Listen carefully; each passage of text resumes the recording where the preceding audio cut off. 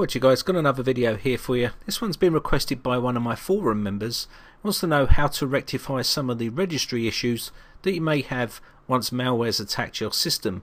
Well, as you can see here, we've got a black screen. Uh, it's hidden the, the wallpaper on the uh, desktop there. We can't right click or anything on there. It won't work. Also, if I right click on the task manager here, you won't see no task manager. Also, if I come down to the run box here and type regedit, and try to enter the registry you'll find that it's been disabled. And the reason why that is is because it's common for these types of uh, malware or rogues to do this type of stuff. Also command prompt and things like that have been disabled um, by the administrator and it's because it's creating policies uh, registry key policies in there to, to block that for you.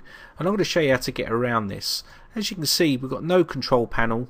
Uh, we can't get to the control panel also, if I go up to organize to try and show hidden files and folders, that's also been disabled. And uh, I'm going to show you a way around it. Okay, so what I want to do first is try and fix this registry so we can uh, have some options. So I'm going to open up Notepad here. And uh, I'm going to put in this piece of code. Now this code is just basically going to fix uh, our registry. It's going to take these keys out which is done by the administrator. Uh, if they're in there, that's the location they will be in in their policies. And uh, what we're going to do is quickly save this. And I'll give you a link to download this piece of code anyway. So what we're going to do here is uh, I'm going to put this into my documents. And I'm going to save this as regfix .vbs click save. We can close that off now. Now once we go to my documents we should see a regfix file in there. So when we run this what it's going to do is hopefully fix our registry problem. Okay so it's saying we should have access to the registry. Okay we should have a registry now so I'm going to go to regedit now and open up the registry. And there you can see we have the registry and we can actually do fixes from here.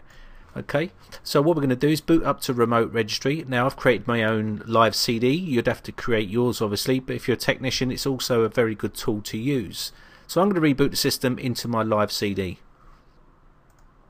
so what we're going to do is restart the system Okay, so this is my live CD. Now, remote registry uh, is a real useful tool, as I said. Um, what it does is it allows you allows you to access the registry of that machine whilst you're in a live environment, which is very useful. It saves you going through all the load hive and all that sort of stuff. You can actually do it through one of these CDs. So I'm going to go down to my Win7 PE disk. Now, obviously, if you want to create one of these, you can do so.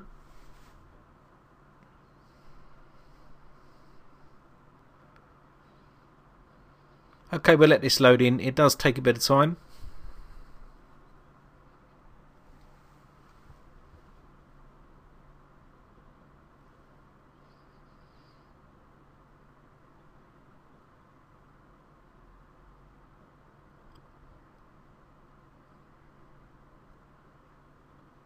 Okay, so once I get to this stage, I just want to click OK here.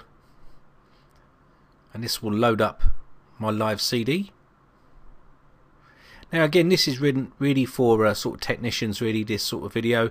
Um, home users really won't probably have much use for this CD um, but for a technician you'll probably use this quite a lot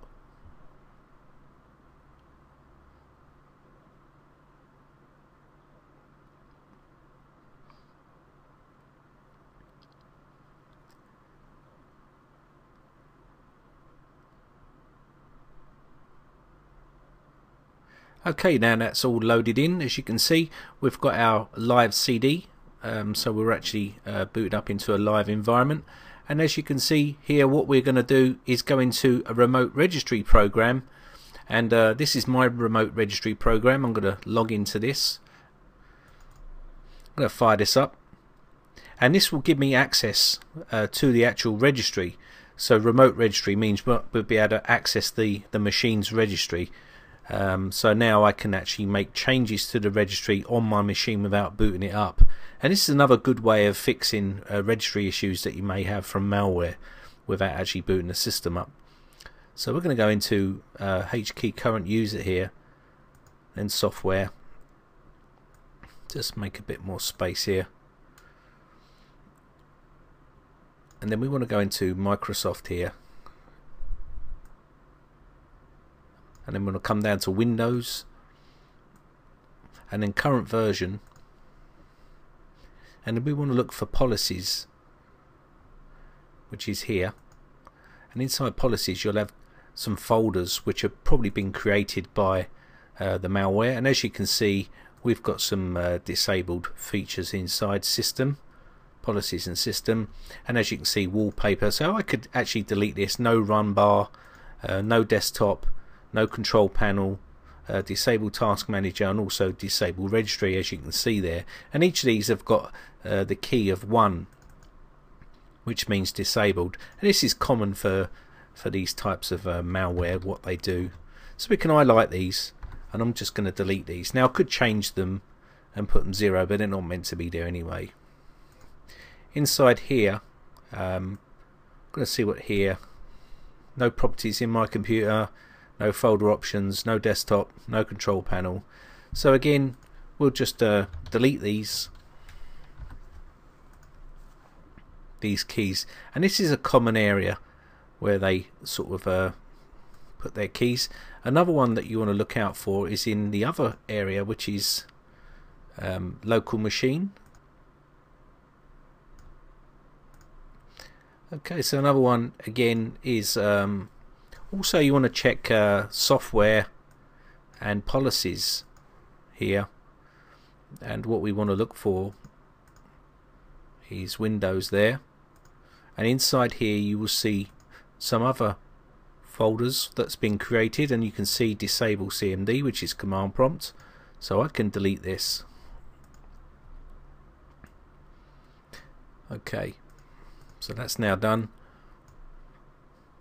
and that was under H key current user. Now also another area will be under H key local machine and it will be the same sort of area software Microsoft. And you want to come down.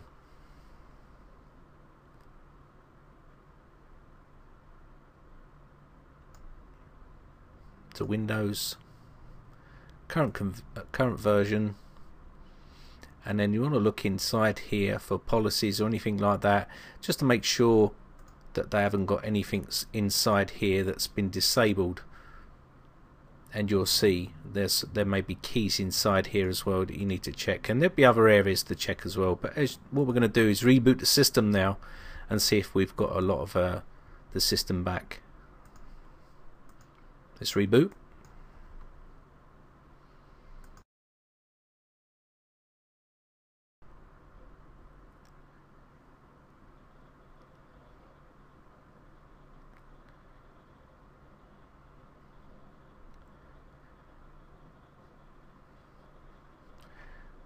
Okay, as you can see, pretty much uh, the system is now back up to normal, and just those few registry keys there have made all the difference. And uh, as you can see, we should have full control of our system again. Regedit again, we're up, back up and running. Task Manager and so on should have full control of the system and everything back to normal. There you go. Okay, so I hope this has been some use for you. My name is Brian from britec.co.uk. If you enjoy these videos, please remember guys, hit that subscribe button and show your support. Also rate and favourite my videos if you enjoy them, and I'll be making more videos again in the future. So thanks again for watching guys. Bye for now.